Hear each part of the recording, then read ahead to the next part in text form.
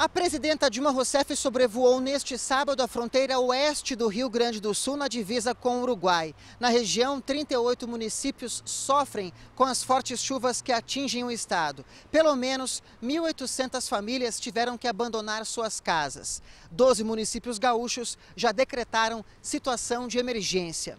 A presidenta também se reuniu com a Defesa Civil Nacional, o governo do Rio Grande do Sul e prefeitos da região. Depois conversou com a imprensa e apresentou três ações prioritárias: resgatar as pessoas atingidas pelas enchentes, restaurar as cidades e as estradas e colocar em prática projetos que possam retirar as pessoas de áreas de risco. Na semana que vem, o ministro da Integração Nacional, Gilberto Ock, retorna ao Estado para definir ações concretas com o governo do Rio Grande do Sul e prefeitos da região.